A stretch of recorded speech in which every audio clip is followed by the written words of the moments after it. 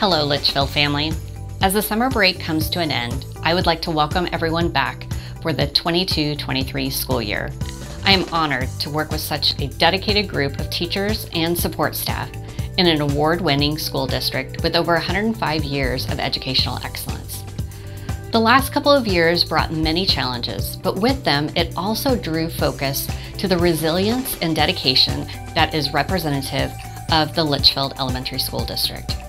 With students and staff safety a priority, we will continue to work diligently with our health and law enforcement partners to maintain a healthy and safe learning environment for all our district family.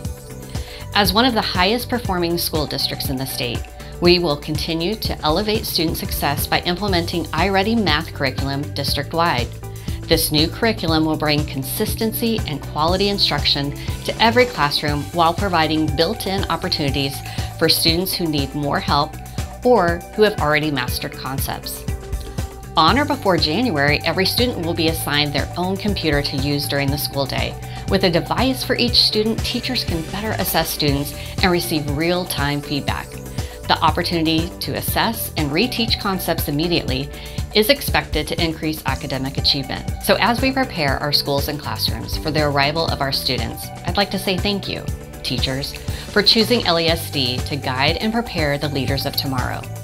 Thank you, support staff, for transporting, feeding, and organizing our days, creating a stable learning environment for our teachers and students.